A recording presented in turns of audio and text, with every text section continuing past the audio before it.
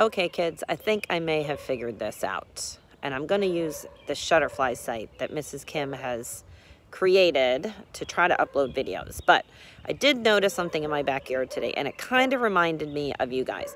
Do you see these trees behind me?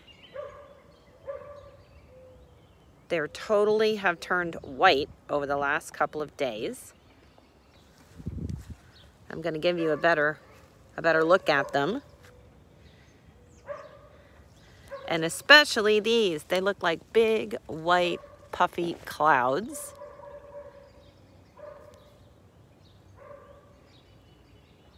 And if you haven't noticed, the weather's kind of changed today. The clouds are still kind of there, but the sun is trying to peek out.